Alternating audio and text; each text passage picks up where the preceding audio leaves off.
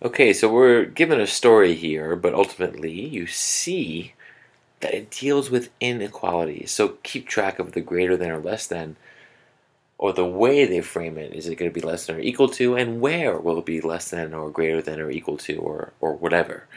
So as we read that, I keep that in mind. Anyway, the problem says students in a ninth grade class measured their heights h, right?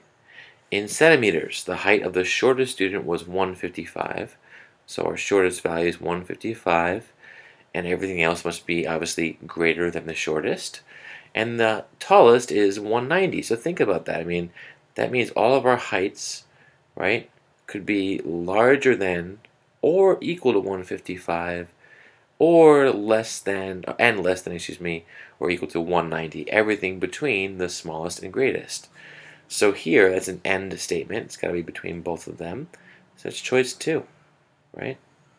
Here, um, 3 doesn't really make sense because h is greater than or equal to 155 or h is greater than or less than or equal to 190.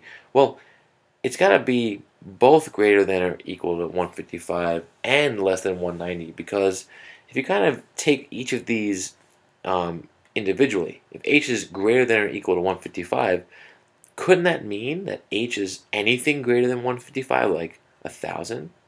Right? Isn't there like no stop to it? Well, there is no stop to it. You can go as far as you want, unless it also has to be less than 190, right?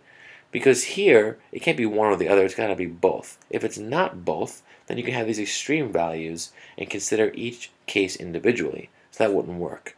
So here your choice is 2. Alright, hope this helped.